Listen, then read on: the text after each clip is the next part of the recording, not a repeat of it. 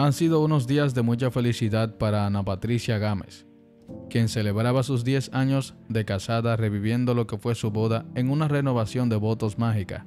En medio de esta gran alegría, la presentadora acaba de recibir un duro golpe.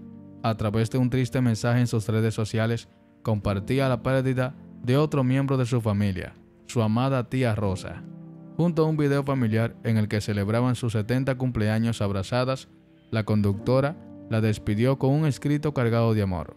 Vuela alto, tía Rosa. Una vez más la vida nos adelanta en el camino a alguien tan amado. Ese día donde celebrábamos los 70 de mamá. Te abrazamos y bailamos todas contigo. Eras la representación de papá en este día especial. Ahora te tocó a ti reunirte con los tuyos en el cielo. Descansa en paz, tía querida, escribió Ana Patricia. En los últimos años, la conductora ha sido testigo de partidas familiares muy cercanas. En 2020 fallecía su papá y justo un año después a su abuelita. Ahora despide a su amada tía arropada de los suyos y recibiendo el cariño de todo ese público que la quiere.